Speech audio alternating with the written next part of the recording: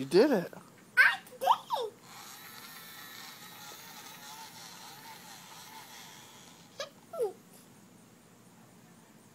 Did you put bubbles on my leg?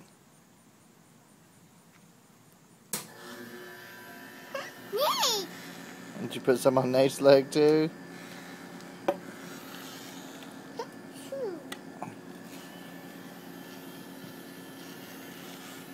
Okay, that's enough.